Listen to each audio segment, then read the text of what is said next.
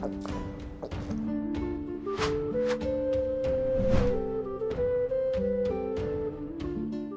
Moin, hallo und herzlich willkommen zu einem neuen Video hier auf meinem Kanal. Heute gibt es hier eine Runde Shakes and Fidget.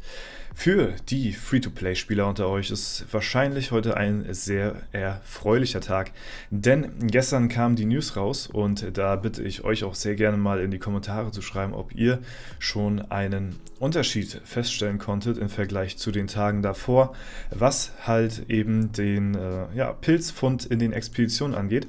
Denn gestern kam die News raus mit Hotfix 05 das folgendes besagt, und zwar, dass in den ersten 100 Abenteuerlust ein garantierter Pilzfund stattfindet, also sowas wie der Daily Shroom, den man in der ersten Quest des Tages gefunden hat. Das ist natürlich das, was sich alle wieder zurückgewünscht haben, was natürlich auch irgendwo selbstverständlich sein sollte, wenn man es schon mit dem alten Alu-System so eingeführt hat. Und dass halt eben auch bei den Expeditionen die Fundchance erhöht worden ist auf die äh, Pilze, ja, und was man halt eben als Loot in den Expeditionen finden kann. Wir schauen uns das Ganze auch mal an. Gestern um 11.50 Uhr ist das Ganze hier kommuniziert worden und äh, ja, ich spiele heute jetzt auch zu dem Zeitpunkt das erste Mal Alu. Für euch wird wahrscheinlich schon ja, jetzt ein Tag vergangen sein, deswegen schreibt mir mal sehr gerne, wie es bei euch aussieht. So, und dann würde ich mal sagen, gehen wir mal rein direkt in die ersten 100 Abenteuerlust und äh, dann begutachten wir mal gleich, wie so die Pilzfunde insgesamt hier overall sind und natürlich müssten wir auch hier den garantierten Pilz auch irgendwo gut geschrieben bekommen, den wir halt eben jetzt versprochen äh, bekommen haben. Ich denke mal, das wird zum Ende der Quest wahrscheinlich gut geschrieben werden. Wir gucken uns das Ganze mal an und ob man hier zwischendurch ähm, ja, auch noch welche finden kann, das weiß ich nicht. Oh, das war natürlich taktisch unklug, da habe ich ein bisschen gegambelt. Ja, dann schauen wir mal, was wir so kriegen hier. Und wir haben hier den Pilz. Ja, das ist natürlich äh, der Free Shroom, den wir jetzt auch bekommen haben bei der ersten äh, ja, Abenteuer-Lust-Quest des Tages, ne? also nicht im Expeditionsevent. Sorry, also ist noch die Expedition. Versteht mich nicht falsch, wenn ich äh, zu den Expeditionen immer noch Expeditionsevent sage. Es hat sich bei mir einfach verankert, weil es halt am Anfang wirklich ein Event war. Jetzt ist es halt fest implementiert. Nehmt mir das bitte nicht übel. Ja, es ist kein Event, es ist einfach fest in diesem Game. Aber ja, es ist, es ist einfach, es hat sich bei mir eingebrannt. Es ist das Expeditionsevent hier.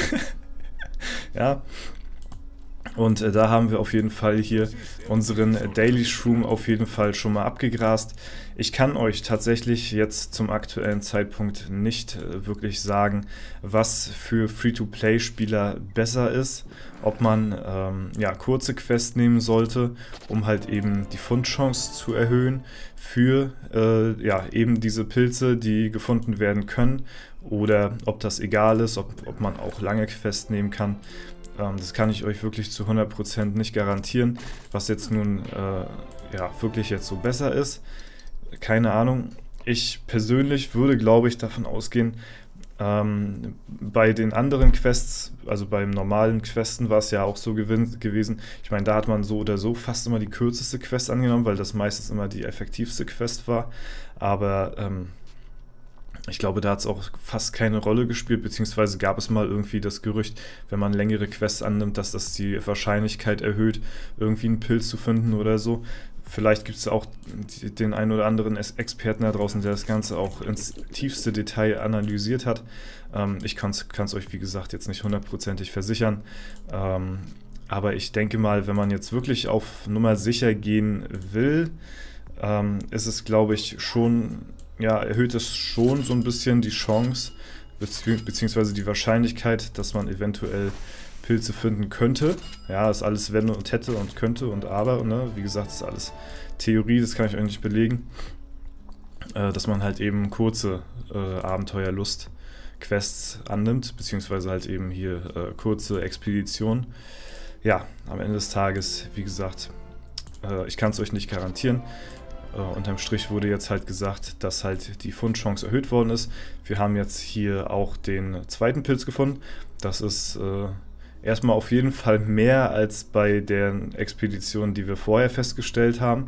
Ja, ähm, beim normalen Abenteuerlust-Questing hat man so, das hatte ich ja letztes Mal gefragt gehabt, da haben mir die Free-to-Play-Spieler gesagt, so drei bis fünf Pilze hat man pro Tag gefunden.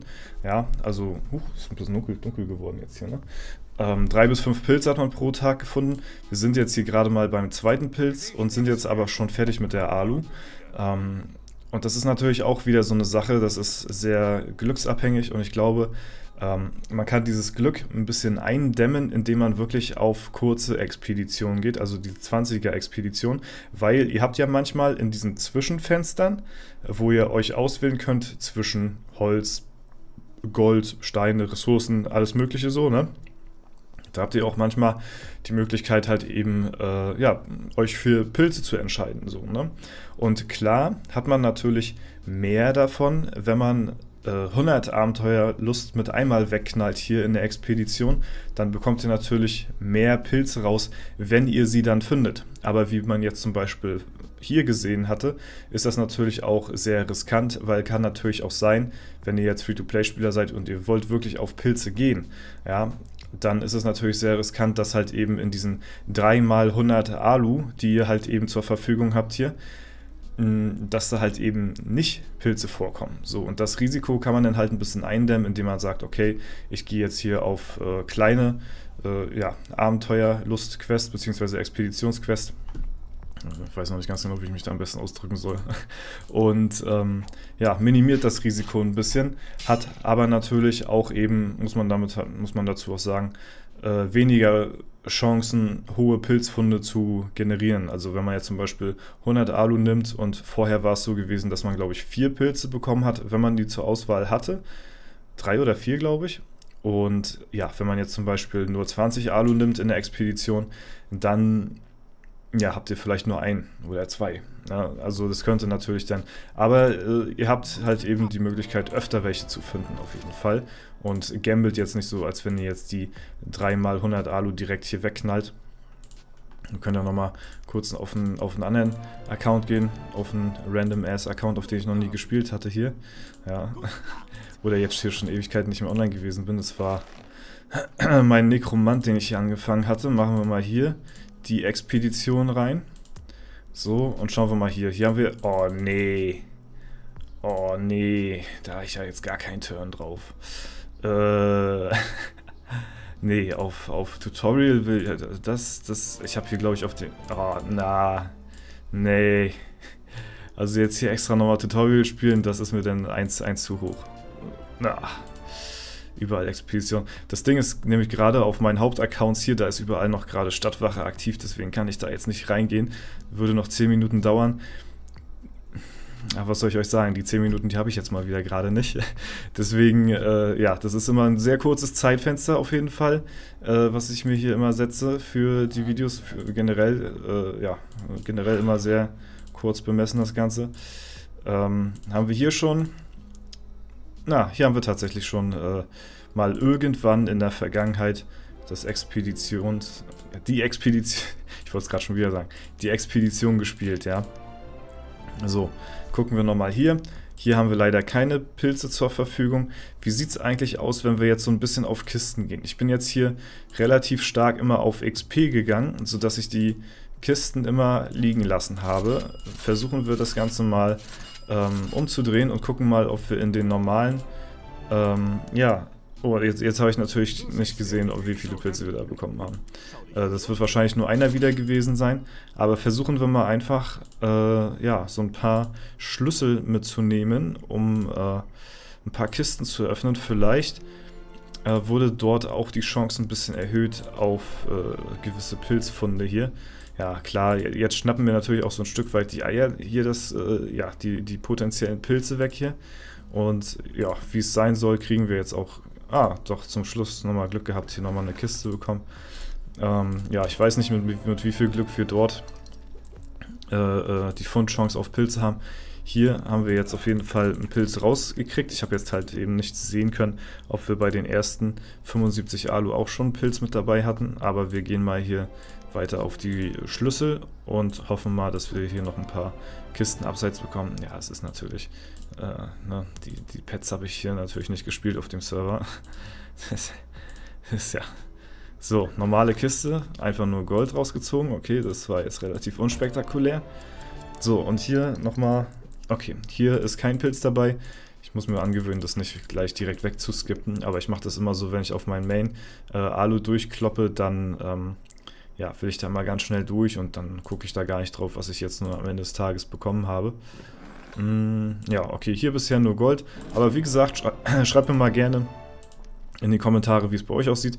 Wie gesagt, ist jetzt hier auch nicht der optimale Fall gerade, sag ich mal, dass ich hier Pilze finden kann in den Zwischenetagen hier auf, ja, bei der Hälfte, ne, wo man halt eben die Ressourcen zur Auswahl hat, weil bei mir wird jetzt ein Slot, wurde jetzt ein Slot jedes Mal belegt von scheiß Ei, weil ich die hier nicht gespielt habe auf dem Server, ja. Also das blockiert natürlich auch nochmal, aber ich gehe mal von aus, wenn ihr schon ein bisschen höher im Level seid, dann, ähm, äh, habt ihr dieses Problem zum Beispiel nicht mehr und dann ist der potenzielle Slot frei für äh, ja, eventuelle äh, Pilzfunde. Ne? Alles klar, Leute, dann würde ich erstmal soweit sagen, lassen wir es für heute. Ja, wie gesagt, ich bin sehr auf euer Feedback gespannt, wie, äh, ja, was ihr dazu sagt, ähm, ob das, oha, wie knapp, ähm, ob sich das gebessert hat oder nicht. Ne? Und wenn, ob ihr damit zufrieden seid, auf jeden Fall. Und es war ja jetzt heute auch, sage ich mal, der erste Tag, wo man das testen konnte. Wie gesagt, man kann ja auch mal reinscheißen vom Glück her. Deswegen sieht es vielleicht morgen schon wieder anders aus. Ne? Alles klar. Leute, ich wünsche euch noch einen super schönen Tag. Vielen Dank fürs Zuschauen bis dahin und äh, verabschiede mich. Haut rein und bis zum nächsten Mal.